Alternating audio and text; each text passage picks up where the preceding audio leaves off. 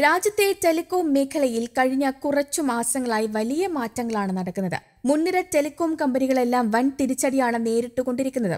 കഴിഞ്ഞ വർഷം നവംബറിലും ഡിസംബറിലുമായാണ് മിക്ക കമ്പനികളും മൊബൈൽ നിരക്കുകൾ ഇരുപത്തഞ്ചു ശതമാനം വരെ വർദ്ധിപ്പിച്ചത്. ഇതോടെ സർവീസ് ഉപേക്ഷിക്കുന്ന വരിക്കാരുടെ എണ്ണവും കുത്തനെ കൂടി. ട്രായുടെ ഡിസംബറിലെ കണക്കുകൾ പ്രകാരം വരിക്കാരുടെ എണ്ണത്തിൽ പിടിച്ചുനിന്നത് ബി എസ് എൻ എല്ലും എയർടെലും മാത്രമാണ്. ശേഷിക്കുന്ന എല്ലാ കമ്പനികളും താഴോട്ട് പോയി.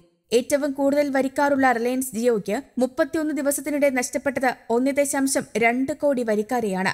ഓഡഫോൺ ഐഡിയയ്ക്ക് പതിനാറ് ദശാംശം ഒന്ന് നാല് ലക്ഷം വരിക്കാരെയും നഷ്ടപ്പെട്ടു. രാജ്യത്തെ ഏറ്റവും വലിയ ടെലികോം സേവനദാതാക്കളായ റിലയൻസ് ജിയോയ്ക്ക് ഇതിനു മുൻപ് സെപ്റ്റംബറിലാണ് വൻ തിരിച്ചടി നേരിട്ടത്. പുതിയ വരിക്കാരെ ചേർക്കുന്നതിൽ ജിയോയ്ക്ക് നേരിട്ട ആദ്യ തിരിച്ചടിയായിരുന്നു അത്. എന്നാൽ ഒക്ടോബറിൽ വൻ തിരിച്ചുവരവായാണ് ജിയോ നടത്തിയത്.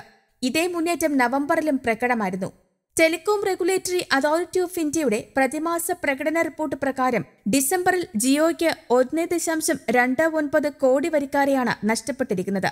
ഇതോടെ ജിയോയുടെ മൊത്തം വരിക്കാരുടെ എണ്ണം നാൽപ്പത്തിയൊന്ന് ദശാംശം അഞ്ച് ഏഴ് കോടിയായി കുറഞ്ഞു. എന്നാൽ ജിയോയുടെ എതിരാളികളായ ഭാരതി എയർടെലിന് ഡിസംബറിൽ നാല് ദശാംശം ഏഴ് അഞ്ച് ലക്ഷം പുതിയ ഉപഭോക്താക്കളെയാണ് ലഭിച്ചത്. ഇതോടെ എയർടെലിന്റെ മൊത്തം വരിക്കാരുടെ എണ്ണം മുപ്പത്തിയഞ്ച് ദശാംശം അഞ്ച് ഏഴ് കോടിയായി. വൻ സാമ്പത്തിക പ്രതിസന്ധി നേരിടുന്ന ഓഡഫോൺ ഐഡിയയുടെ പതിനാറ് ദശാംശം ഒന്ന് നാലു ലക്ഷം വരിക്കാരാണ് വിട്ടുപോയത്. ഇതോടെ വി ഐയുടെ മൊത്തം വരിക്കാരുടെ എണ്ണം ഇരുപത്തി ദശാംശം അഞ്ച് അഞ്ച് കോടിയുമായി ഭാരത് സഞ്ചാർ നിഗം ലിമിറ്റഡിന് ഡിസംബറിൽ ഒന്ന് ദശാംശം ഒന്ന് ഏഴ് ലക്ഷം പുതിയ വരിക്കാരെയാണ് ലഭിച്ചത്.